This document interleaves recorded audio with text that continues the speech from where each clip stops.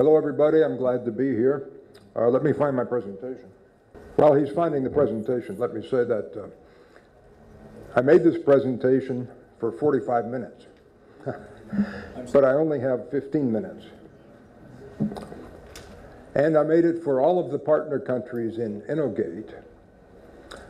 Uh, but uh, today I'm just addressing Azerbaijan. Therefore, I will, uh, I've already eliminated some of the slides and I will only focus on the slides that are most important for Azerbaijan, if we can ever find the presentation. I am the key expert for sustainable energy in the INOGATE new ITS project. Uh, today, people have been asking me questions about gas. I'm not really qualified to answer questions about gas or electricity. That's another component, and uh, we have other experts doing that. Today, we'll talk about the um, OECD plan to stabilize the climate. Um, Often people ask, how should we determine our investment goals on a national basis? So, uh, in response to that, I said, well, let's pick a, a goal that achieves a meaningful objective. What would that be? Well, that would be to avoid the tipping point in global warming. Avoid the points where if you go beyond them, you cannot come back and the global warming may continue uh, on its own out of control. So let's, let's look at that and then work backwards and calculate the investments necessary to avoid the tipping points. Now, um, energy security is not Azerbaijan's problem, so we will skip that and just focus on economic reasons and climate reasons. Okay. Here's a picture of the, uh, the carbon dioxide accumulation or emissions in the uh, atmosphere. And you see, for centuries and centuries, we were moving along at about 280 uh, parts per million in the atmosphere. And then suddenly, right there, about 1830 or 1840, it started to jump up. What happened then? That was the Industrial Revolution. Ever since then, we've been going up and up and up and never coming down. They call this the hockey stick graph because it looks like a hockey stick sitting on its side. Today we're at uh, 440 parts per million for all greenhouse gases, and the increase is about two per year.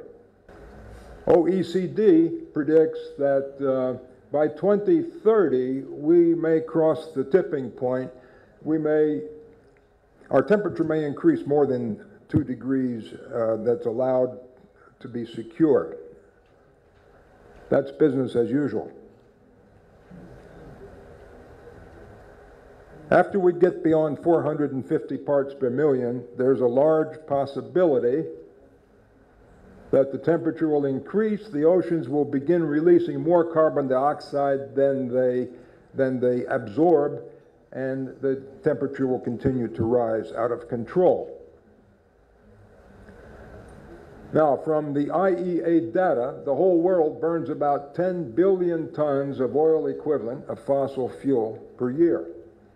This produces about 48 and a half gigatons of carbon dioxide equivalent per year. The annual increase is about 700 megatons and that's about 1.5% per year. Remember that number, 700 megatons. The three biggest emitting sectors are electricity generation, industry, and transport. Here are the uh, annual numbers calculated from IEA data for the whole world, for the European Union, which I rep represent, and for Azerbaijan. The carbon emissions from here are about 55 megatons of carbon dioxide equivalent per year. I'll skip this slide because energy security is not your problem. You have all the energy you need, you export energy. So let's go right on to the OECD plan. OECD says to avoid this tipping point, right, right there, at 2030, we have to take urgent action and continue taking this action until the end of the century. We cannot avoid it in a day or even a year. It's going to take us many, many years of hard work. You see that in the end, at the end of the century, we're almost down to carbon neutrality. Let's look at the same data a different way. OECD proposes a four stage plan to get from here to there. In the first 10 years, they say don't reduce anything, just stop increasing. That makes sense. So, in this decade, which we're already two or three years into it, but by 2020, they would like to see a, a, a no more increase, let's say. It just levels at uh, 48,500 per year. In the next 10 years, we should begin to decrease slowly at uh, 45,000 per year. Then for the next 20 years, 31,500 megatons, and for the last half century, 8,000 megatons per year. This is very drastic. This is a huge, huge challenge for the whole world, and every country is in this mess together. There's no one country who can say, it's not my fault, it's his fault, it's her fault. I hear this all the time, but really, every country has to do its part to get from here to there to avoid the tipping points. Now, since I'm the uh, key expert for sustainable energy, my solution is to replace the fossil fuel with sustainable energy, which means energy efficiency or renewable energy sources. Now, this is not to put the fossil fuel people out of business. We are friends, we're in the same room together. But what I'm advocating is a transition of the business from fossil fuel to renewable energy. The same companies can do this work. Shell Oil, for, for example, is already starting transition. To follow the OECD plan, we can and we must change behavior, and we can and we must invest in technology. We'll discuss both of them. And I would like to present a methodology to achieve the um, investment target because nobody knows how much do we have to spend. I don't have the answer here, how much we have to spend. I have a methodology where you can figure it out yourself with your own local data and considering your own local needs. What does the technology cost? Well, that depends on many things, and the prices vary a lot. You can have very expensive and very inexpensive technologies.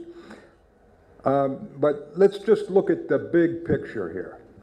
Energy efficiency technology, on average, costs about two and a half euro cents per kilowatt hour levelized, considering the economic life of the project and the discount rate and the cost of the technology, everything.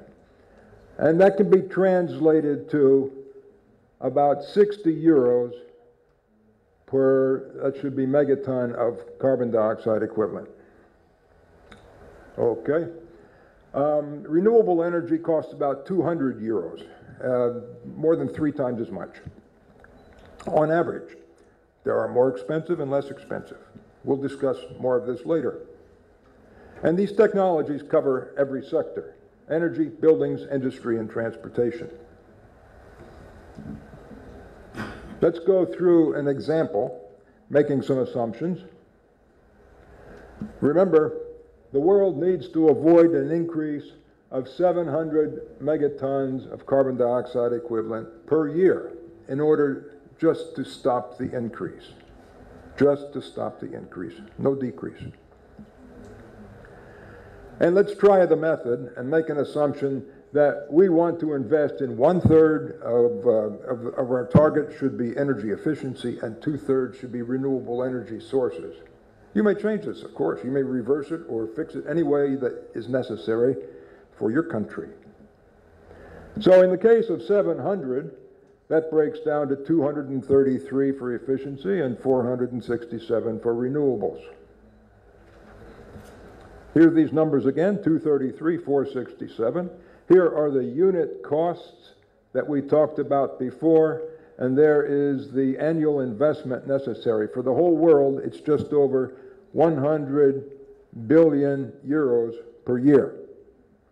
And you have to do that every year.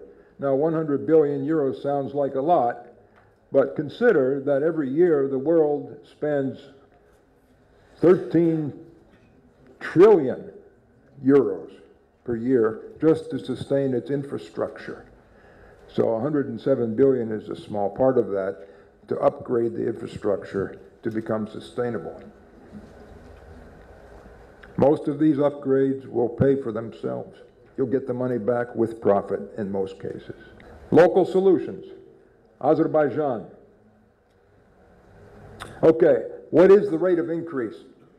It's not, it's not one and a half percent for every country, and I'm not, I'm not sure what it is for Azerbaijan because the latest IEA data is not out yet since the crisis. So let's go with the GDP increase. All right, GDP increase at uh, 3.7%. If that is, if that corresponds to the emissions increase, then Azerbaijan, going through the same calculation, would spend about 35 billion per year. Excuse me, that should be that should be 35 million, if I'm not mistaken. I will correct this before I turn in the slide. yeah, yeah. I didn't I didn't mean to scare you. It's 35 million. All right. The uh, it's it's the point is that it's much less than the annual. Okay. Now I'm going so fast I'm getting confused. That previous number is for the European Union. This number is for Azerbaijan. Here we go, a half a billion. The cost of business as usual is about 8 billion. A half a billion is a small part of that. Now, how, how, about the return on the investment? Let's talk about that. I'm going to give the example of your neighbor next door, Georgia. They've made a policy decision to exploit all possible hydroelectric power. That's renewable. And that gives them a return on the investment of 13%, internal rate of return of 10%. If those numbers are good, then better numbers are more favorable. Well, what's more favorable than small hydropower? Look to the right and you'll see less expensive energy efficiency. All right, let's continue the example. Um, Moldova has a policy to invest in biomass. So if they consider biomass an acceptable investment, everything to the right should be more acceptable. There's a great tendency in Azerbaijan to invest in wind power. If that's a good investment, then everything to the right of wind power is less expensive and probably a better investment. You have to repeat this every year and remember, the money does not all have to come from the national budget. It can come from private investments, private companies, domestic, foreign, any place you can find it. This is obvious. Everybody has their advantages and disadvantages, and you have to consider your own conditions. Security is not for you, but your problem is to maximize your income, maximize your profit, and every kilowatt hour that's not wasted at home is a kilowatt hour you can export for cash. Behavior. You know, if you're driving down the road and you take your foot off the gas pedal, the car stops pretty quickly. And that's how it is with behavior changes.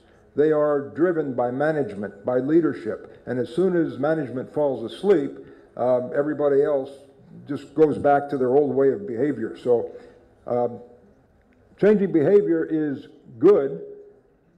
It's the cheapest way you can save energy. But here is the challenge. You can change it through policy and education in many ways, but the challenge is to keep it continuous. Okay. In summary, investments can reduce energy intensity, increase productivity, reduce global warming, create jobs, and most of the investments return more than they cost. Thank you.